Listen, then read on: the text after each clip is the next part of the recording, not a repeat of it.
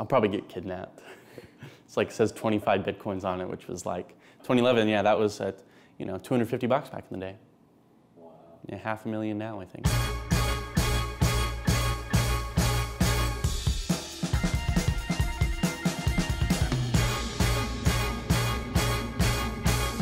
So my name is Erik Finman, and I guess I'm known as the world's youngest Bitcoin millionaire.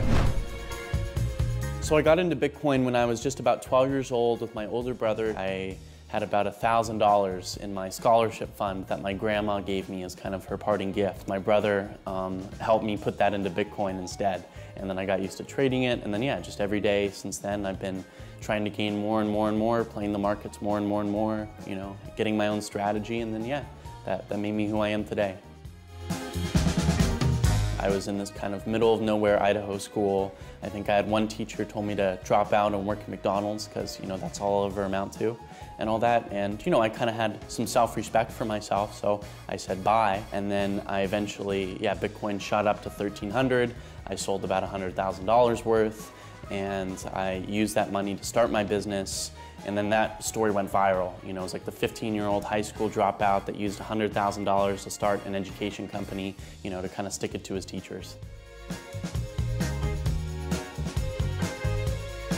And more recently, I started something called uh, Coinbits, which is just a super dead easy way to get into Bitcoin. You basically just sign up, connect your payment information, and that's it. You can start investing. You can connect your card, and every time you swipe, it invests just a little bit of Bitcoin for you.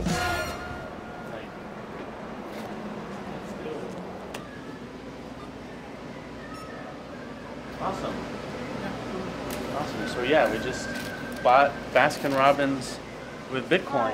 With Bitcoin. I bought a, I bought a pizza for half a Bitcoin once. Are you serious? Uh, well, people just kind of remember the days when, you know, when uh, Bitcoin was like as, as, Erik mentioned, pennies, you know, a couple of bucks. Yeah, so that's kind of one of the, the, the, pros and cons of Bitcoin is that it's super volatile. There's super big ups and super big downs. I, I use it more as kind of an investment. So yeah, I'll lose money some days and, and gain a lot of money other days. Um, and it's a good good backup as a emergency currency. But yeah, if you want to get into cryptocurrency as a currency, there's much better currencies like Tether is an example of another cryptocurrency that is is like super super stable. There's not really big upswings or big downswings.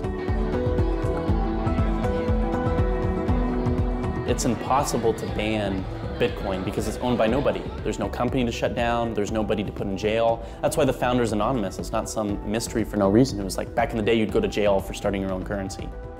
In my opinion, Bitcoin still has big upswing, so there's many more opportunities to, you know, get rich or to get, create wealth. I mean, this is one of the biggest wealth transfers to young people. One, two, three, Bitcoin.